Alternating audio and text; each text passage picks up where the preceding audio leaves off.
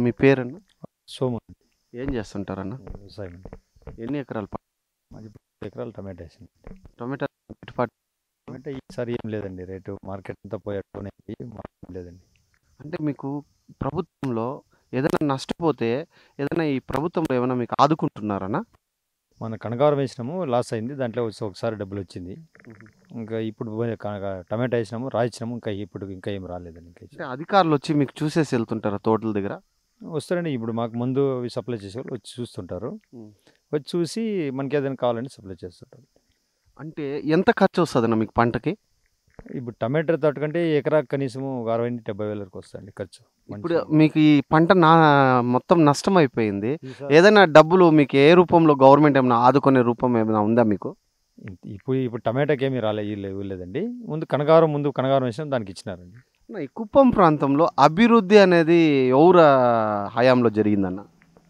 కుప్పం అభివృద్ధి అంటే ముందు చంద్రబాబు నాయుడు డెవలప్మెంట్ జరిగింది. ఇప్పుడు ఏదో చేస్తున్నారు మేము ఎక్కువగా పట్టించుకున్నారు రైతుల రాజకీయం గురించి. అంటే ఇక్కడ కుప్పం అభివృద్ధి అంటే చంద్రబాబు నాయుడు పేరు వస్తూ ఉంది. ఈ ప్రభుత్వంలో ఏమైనా అభివృద్ధి జరిగిందన్న? చెప్పలేమండి ఎంత మేము. మీరు మూడున్నర సంవత్సరంలో చూశారు మనకు మున్సిపాలిటీ వచ్చింది. మున్సిపాలిటీ నుండి ఏమైనా మనకు లాభం ఉందనా అంటే మున్సిపాలిటీకి మాకు సంబంధం లేదు ఎందుకంటే మున్సి మేము వచ్చి విలేజ్లో ఉండేది.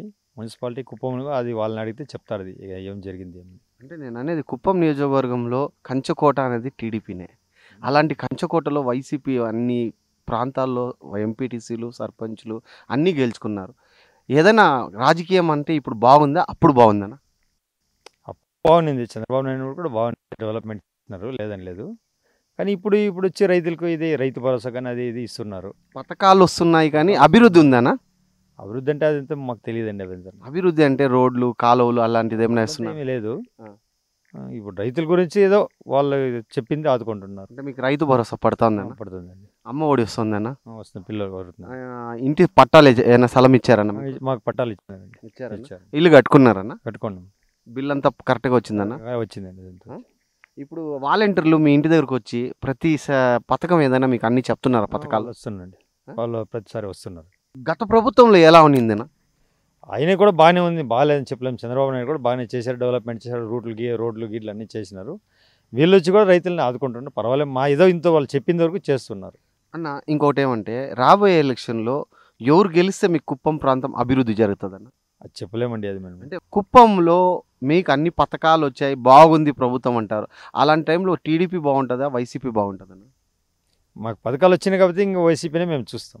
ఖచ్చితంగా నెక్స్ట్ టైంలో వైసీపీ జెండా ఎగురుతుంది అంటారా ఖచ్చితంగా రావచ్చు అండి